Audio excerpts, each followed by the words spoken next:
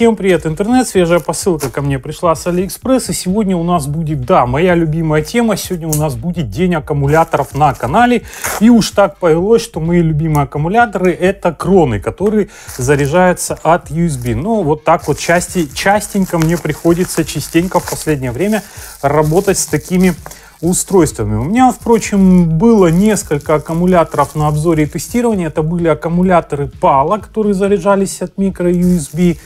Там было больше, в принципе, неплохие, там было больше вопросов у меня к продавцу, нежели к аккумуляторам. У меня были аккумуляторы OKCell, совершенно мне не зашли, очень много вопросов к аккумулятору, к продавцу никаких претензий. И были аккумуляторы Миласта. Ну, вот прям самое то, что можно сказать, что надо. Лучше я пока не видел. Ну и вот, вот на распродаже 11.11 11, вот в таком чехольчике приходит аккумулятор, друзья. Уже ради чехольчика можно купить. Я заприметил а, вот такие вот аккумуляторы. Парочку взял от некой компании. Тут а, было написано by чего? By Smart Tools. От некой китайской компании, которая гордо называется Smart Tools, причем аккумуляторы, которые заряжаются не от микро-USB, а от новомодного стандарта USB Type-C. Все, как видите, два выхода да, самого аккумулятора и вход. Никаких э, индикаторов заряда, из чего я сделаю предположение, что и, соответственно, внутри никакого преобразователя не стоит. Сейчас мы это замерим. И, соответственно, батарейка выдает, стоят просто два аккумулятора литионных, и, соответственно, батарейка выдает от 8,4 вольт и там ниже около 6,5 вольт, пока не сядут эти самые э, литионные аккумуляторы.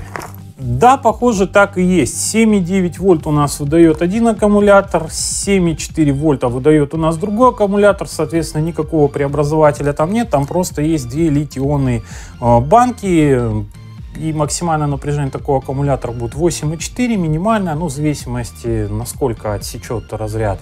Контроллер, который стоит э, внутри батареи на уровне там 6,5-6,5 вольт. Ну, минимум, на что можно разрядить 2,5 вольта литий-ионку.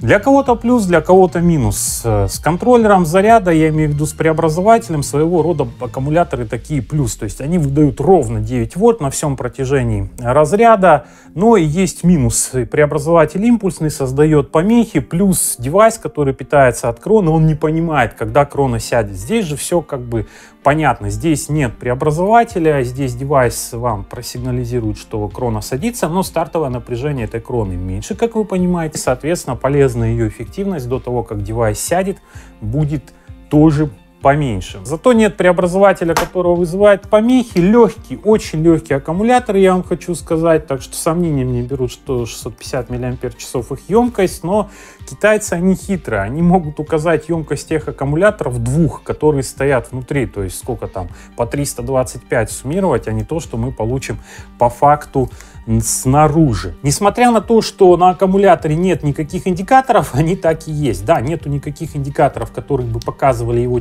текущий заряд, да, они не нужны по тем объективным причинам, которые я озвучил выше. Но вот есть такой индикатор зарядки. Рядом с портом он светится красным, когда аккумулятор заряжается, и должен загореться синим, когда аккумулятор полностью заряжен. И еще этот аккумулятор поддерживает сквозную зарядку, то есть в то время как сам аккумулятор заряжается, его можно разряжать. На мой взгляд, очень клевая такая фишечка.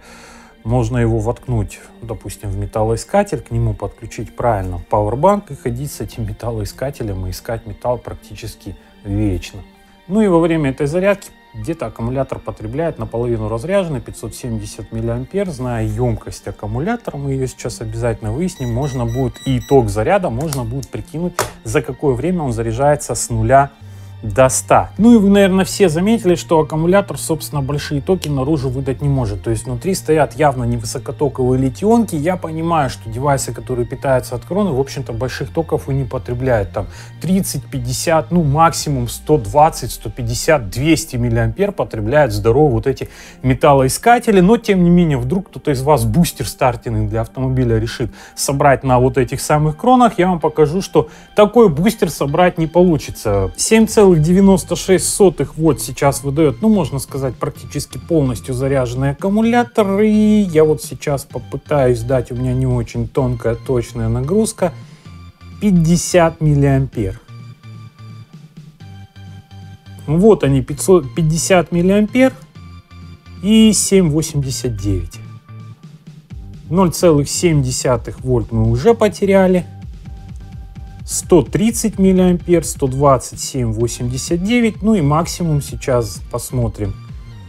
200 миллиампер 781 напряжения, примерно 200 потребляет, как я уже сказал, какой-нибудь мощненький металлоискатель. Ну и вот попробуем дальше поднимать нагрузку в пол ампера 7,5 вольт, 0,4 вольта потеряли и в 1 ампер я подозреваю, что тут будет очень сильно уже такая просадка. 1 ампер, да, 7,2 вольта, 1,3 ампера, 1,5 ампера,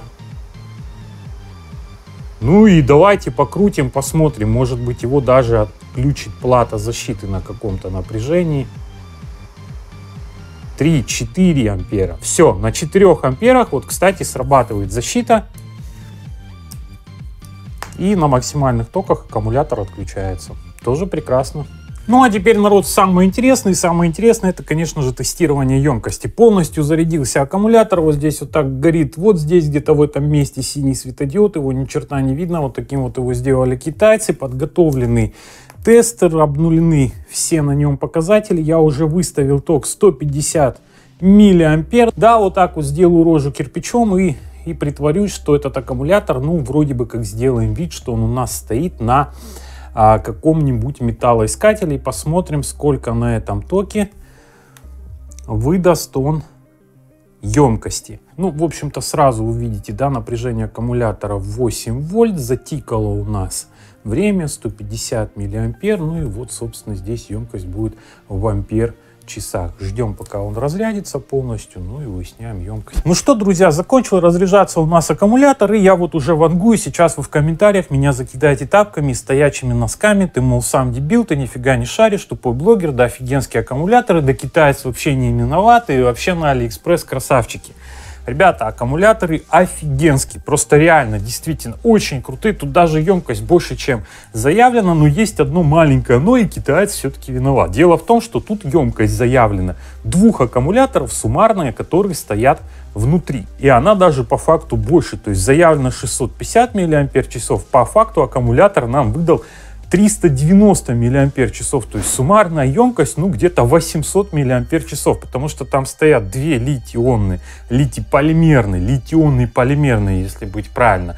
Банки каждая по 400 миллиампер часов, но они соединены не параллельно, а последовательно. Соответственно, емкость не увеличивается, увеличивается напряжение. А емкость они отдают как емкость одной банки. И там даже стоит больше. То есть здесь можно было вообще вот так вот легко написать, сколько тут, 390 умножаем на 2. То есть прям вот так написать 800 миллиампер часов и все, и продавать. Вау, блин, еще круче, еще больше.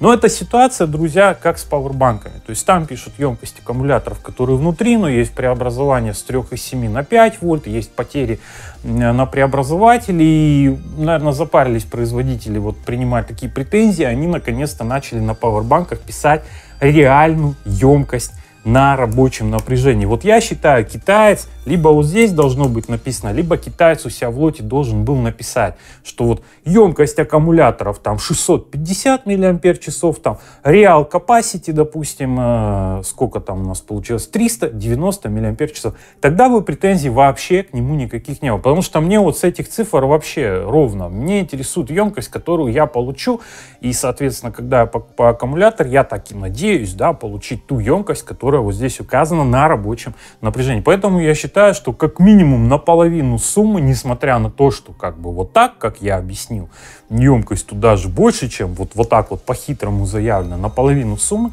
надо открыть спор, чем я сейчас и займусь. И буду очень возмущен, если Алиэкспресс опять же мне не вернет половину денег. Точно так же, как я в свое время возмущался в обзоре аккумуляторов PALO. Ну вот, народ, теперь я это понимаю, теперь это по-честному. Полцены за пол емкости. Правда, что продавец бухтит, там, пожалуйста, используйте профессиональные инструменты для измерения, там, полностью заряженную батарею. Ну, батарея у нас была полностью заряжена. А что профессиональный инструмент? Что если напряжение будет сниматься по дополнительным кабелям 250 мАч, что ли, лишних? Ну, это несерьезно. Откуда они тут возьмутся? Поэтому его мы до свидания.